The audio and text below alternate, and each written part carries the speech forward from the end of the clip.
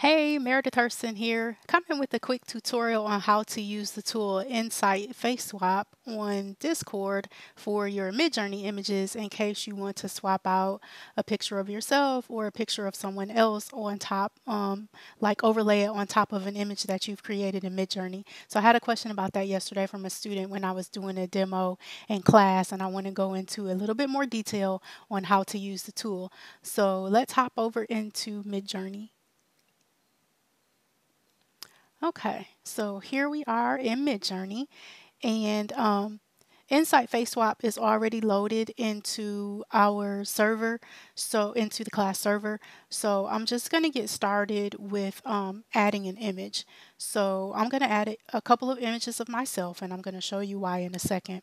So we're going to do slash save ID. Oops. Okay, so that's going to ask us to um, drop an image and also provide a name. So let me find an image here. I'm going to bring in this one and we're going to set this name as Mayor Puff. So now that image has been created and then we're going to bring in another one and save it. Let me find it. Here it is. And we're going to save her as Mayor Bun. Okay, so now I have two images in the system that I can use to swap out faces. So I am going to pull an image that another one of the instructors had previously generated, this one here, and so what we are going to do is overlay my face on top of that. And so since we have two images in the system, we need to um, tell the bot which one we want to use.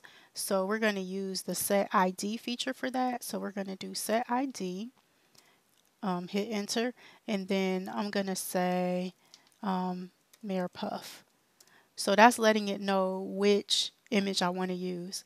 So now that that has been established, we're going to right click on this image. So it has to be an upscaled image. So this has been split out from the images, the, the four squares that it gives you. So image number three has been upscaled. So we're going to right click on this image and um, scroll down to apps.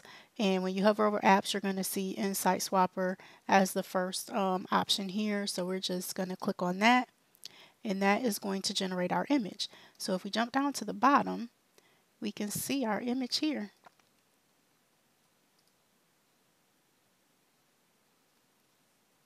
Actually, it's being generated. It's not done just yet. Sometimes it takes a few seconds.